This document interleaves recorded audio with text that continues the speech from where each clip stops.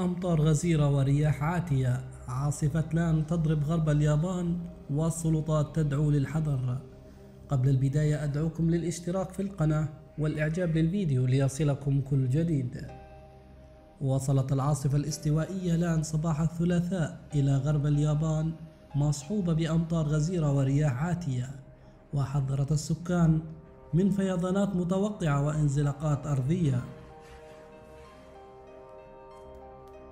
هطلت أمطار غزيرة على جزيرة هونشو الواقعة غرب اليابان بعدما وصلت إليها العاصفة المدارية لأن صباح الثلاثاء متسببة بارتفاع منسوب الأنهار وأثارت مخاوف من حدوث انزلاقات أرضية. بعد خفضها من إعصار إلى عاصفة وصلت لأن من المحيط الهادي قرابة الخامسة صباحا. مصحوبة برياح عاتية عصفت بأوسكا وكوبي والمركزيين التجاريين في طريقها نحو الشمال.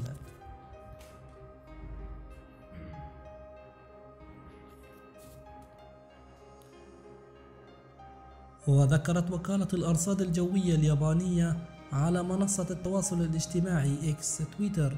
سابقا تجاوز إجمالي هطول الأمطار بالفعل معدل الأمطار الشهري المعتاد لشهر أغسطس آب في بعض الأماكن في المناطق الوسطى والغربية. ودعت الوكالة في بيان السكان للحذر من الأمطار الغزيرة والرياح العاتية. وأعيد التيار الكهربائي إلى معظم أنحاء سبع مناطق متضررة مع بقاء نحو 15 ألف منزل من دون كهرباء حتى بعد ظهر الثلاثاء. ووفق شركة الكهرباء المحلية. وجرفت الأمطار جزءا من جسر للمشاة في كيوتو وأدى الحطام المتطاير إلى توقف قطارات الركاب المحلية. وكانت السلطات علقت رحلات القطارات السريعة ومئات الرحلات الجوية ولا سيما تلك المتوجهة أو المغادرة من أوساكا. وأفادت وكالة أنباء كيودو أن نحو 650 شخصا أجبروا على البقاء ليلا في مطار كانساي الواقع على جزيرة اصطناعية في خليج أوساكا بعد أن قطعت العاصفة الطرق وخطوط السكك الحديدية.